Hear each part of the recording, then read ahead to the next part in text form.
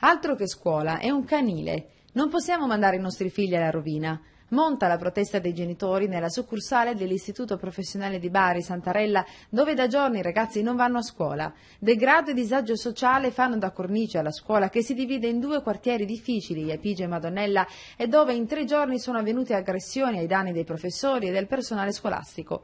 Le proteste degli alunni e di alcuni genitori dei giorni scorsi sono dovute al trasferimento di quattro classi alla succursale di Epige in via Gentile.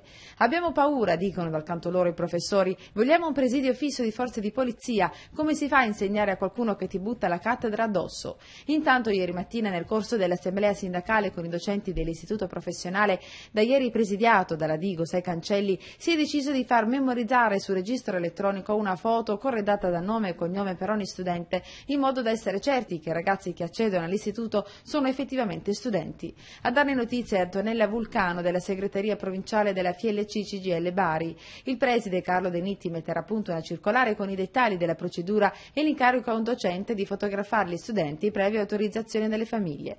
Un'altra ipotesi è quella di dotare gli studenti di un cartellino identificativo, una sorta di badge. Docenti, personale ATA e dirigenti che operano in piena emergenza educativa sono gli unici a occuparsi di molti adolescenti a rischio della città. Bisogna assicurare loro un'adeguata vigilanza, quindi un maggior numero di collaboratori scolastici. Interviene così il segretario CISL Scuola Domenico Maiorano.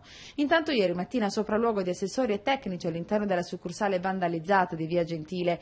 È urgente dare una risposta ad un atto di inammissibile vandalismo e violenza, commenta l'assessore comunale all'istruzione Paola Romano.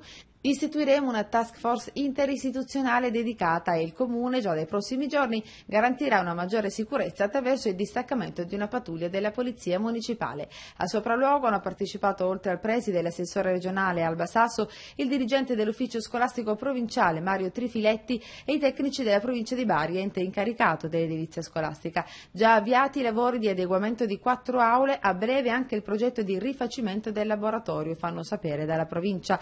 Nel frattempo le quattro classi destinate alla succursale saranno ospitate nell'Istituto Marconi alle spalle della sede centrale del Santarella.